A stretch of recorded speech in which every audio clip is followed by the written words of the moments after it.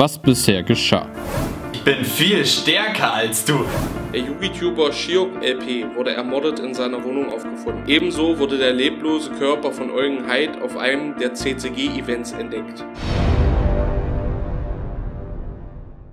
Wie konnte ich es nur so weit kommen lassen? Ich habe sie alle getötet.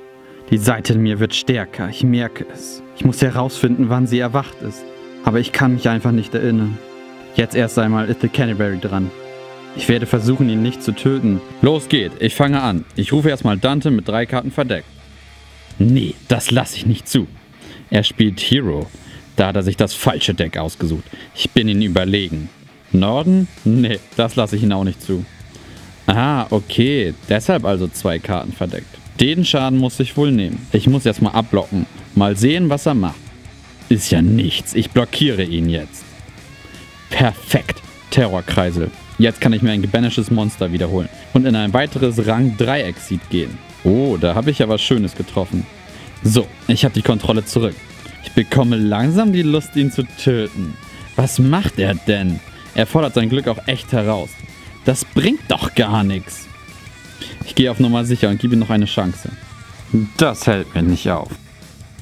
Ich werde ihn jetzt erstmal die Ressourcen nehmen. Und dann noch eine Karte verdecken. Und dann wird es jetzt wohl sein letzter Spielzug werden. Er versucht wenigstens was.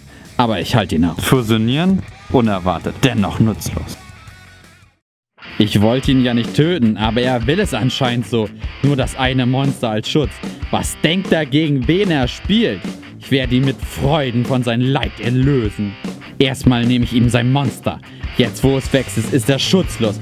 Viel zu einfach. Das war's. Ich habe es schon wieder getan. Ich bin zu schwach. Ich will gar nicht mehr gegen ankämpfen. Es ist ein hoffnungsloser Kampf. Ich kann einfach nicht gewinnen.